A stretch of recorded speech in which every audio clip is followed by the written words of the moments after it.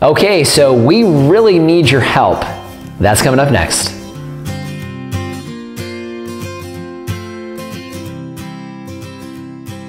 Hello everyone, this is Duane with Edge of Nowhere Farm and we're coming to you here tonight. It's actually the end of February and things are starting to kind of heat up for us on the new property. One of the things that we talked about in our 100th episode when we first started talking about the fact that we're going to be moving from this one acre property to a six acre property we had mentioned that we were going to ask for your help. Well, today is that day. So what you see behind me here is not 100% to scale, but it's about what the property looks like. So what we have is we have a five acre parcel here, um, and then we have a one acre parcel there. So it's a total of six acres. So it essentially looks just like this. So kind of a, an upside down L. So we know a couple things for sure that we know we're pretty much not going to change. Uh, well, we know one thing for sure is not going to change. That's the positioning of our house because that's actually already going in. Uh, the septic will be right behind it. Um, and then the well, which we've already posted a video there um, on the well, the well's over in that corner. So we already have these. We know they're right up at the front of the house. Uh, one of the things we haven't talked too much about is our barn and shop. So we'll have a metal building that's a couple thousand square feet um, just adjacent to the house uh, here at the front of the property. So the way we come into the property is this way. Um, so we know that is going to be there. Um, about the only other thing that we're 99% sure on is we know that we're going to be raising our pigs on this one acre parcel right here. Outside of that, we're not 100% set on everything else, which is why the rest of this is blank. Um, so let's go over a couple of uh, details uh, as far as the property is concerned. Solar aspect. Um, so for reference, North is that direction. Full sun exposure really anywhere that we are back here. The land itself does have a slope. So from the northern end here to the southern end here, um, we have about a six to eight foot drop is my estimate. So water is going to flow from this part of the property to this part of the property naturally. That we have a very shallow wash that comes through this part of the property here and down in through that pig acre. Um, we have a wash that's off of our property that comes through here. So it really starts to slope off quite a bit down here. Uh, so we do know that as far as the terrain is concerned. Um, outside of that, this whole area here is almost completely flat with the exception of that grade. A few things that we know we're gonna have. We know we're gonna have fruit trees. We know we're gonna have our grapevines because we love our vineyard. After that, we do know that we're gonna have chickens. And so with our chickens, we're gonna have layers and broilers. Okay, sorry about the audio here, guys. We had a little issue, but what I was trying to say is next thing would be pigs. And then one other thing we're going to test would be sheep. We are going to test sheep on this property. And then, of course, how can we forget we are going to obviously be doing some gardening.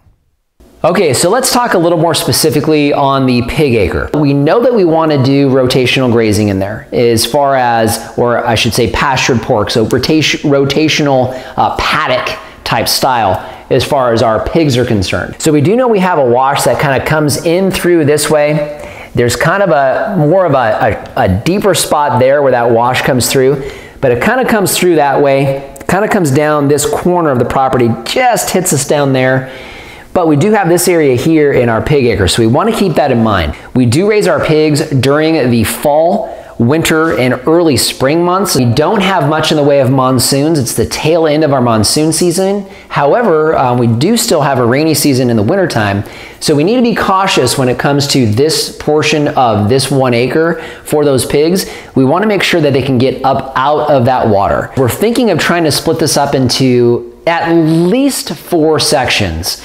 What we're thinking is we're thinking that we're probably going to go with a maximum density, at least to start, of anywhere from 5 to 10 pigs at any given time. So we won't have more than 5 to 10 pigs. We usually purchase our piglets at about 2 months old and we finish them at about 7 months. So we're going to have them for approximately 5 months.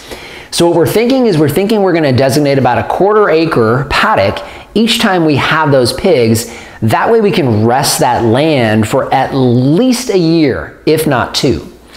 Now, as far as the terrain, um, I'm going to link a video here. One of the first videos we did, we were actually going through and pruning out uh, some of our creosote bushes that were right here on this corner of that property. Um, but there's not much here. There's a little bit, there's a lot of flat land and scrub. We get some more creosote. We down Once we get down into here, we do have some mesquite trees and that kind of thing. So we do have some nice shade in here for them, especially before we do any planting. So we also were trying to figure out what we want to do as far as housing for the pigs. We're thinking of doing something that's more permanent and maybe even linked to something on this side of the property, but uh, possibly something uh, linking the two of those together with shelter. Uh, so giving shelter to multiple different types of animals. So what our thought was, and just kind of throw this out at you guys, is to have some type of permanent or semi-permanent housing uh, for them here where they can come back and we can easily get to it as far as feed. So we can have feed here. Uh, we can have water here, uh, so we can have water, um, and then maybe access of some sort uh, for loading and unloading of livestock, maybe down here on the corner. Maybe breaking this up into paddocks. So having some type of gate here, uh, having a paddock here maybe, and having a gate here. So it looked like that. Uh, maybe something off to here, having some type of gate here, and then this would be our last paddock, uh, if that makes sense. So we'd have those four paddocks. So at that point, what we could do is we could start out right away, someplace that we can keep them when they're small, maybe keep, you know, because they're about two months old and we do have concerns with coyotes and things like that.